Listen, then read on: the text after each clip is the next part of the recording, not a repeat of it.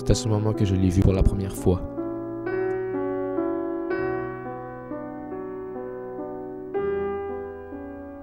Tout ce que je compris à ce moment, c'est qu'il renfermait énormément de colère. C'est à plusieurs reprises que je l'entendais le soir frapper contre les murs de sa cellule.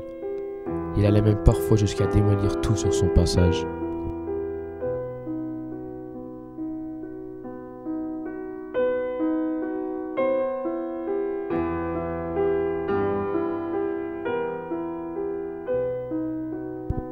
Je me doutais bien qu'il se produirait quelque chose avec lui.